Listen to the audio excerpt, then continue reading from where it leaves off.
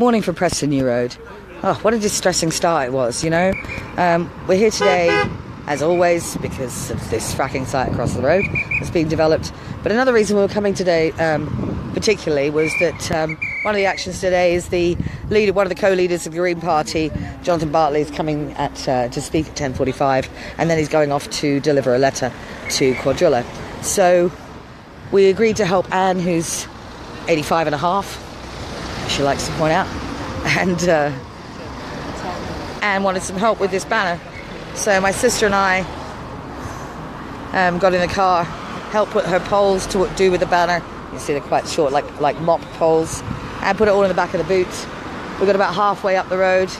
Halfway up the road, we were pulled aside. Well, a police vehicle, a van, pulled up alongside us. And while it pulled up alongside us, the doors were open. Six cops jumped out, surrounded the car, obviously making us stop.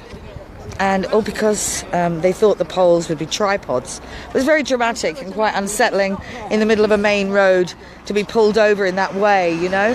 So um, it meant poor Anne too. Um, we try to avoid making her walk up the hill too often. And so she had to walk up the hill, and I had to carry the banner um, because they were holding our progress. And they said, Oh, well, you can go in a minute, but we're just in the middle of um, seeing a truck through.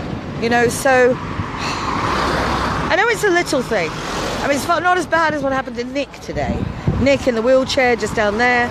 Um, was in the way and they asked him to move but in an impolite way and he said go on just be polite just say please and then they just manhandled him but then when they manhandled him they used pressure points against him this is a young man in a wheelchair and they saw fit to do that it's just astounding I, I, I know I use that word a lot but I am astounded. It's like yesterday they turned up with bloody police dogs, as if we warrant that. At no point has anyone ever been harmed by us. We slow down the progress of trucks. That's what we do.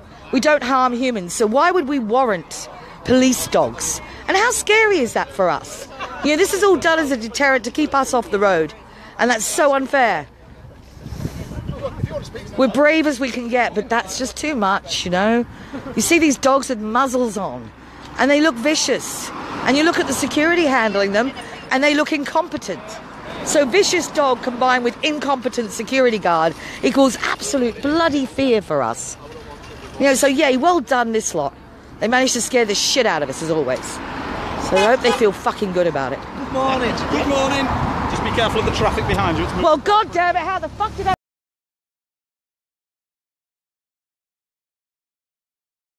55. Sorry, I'm really tense. So we have new security on site. I'm going to go and see them. And uh,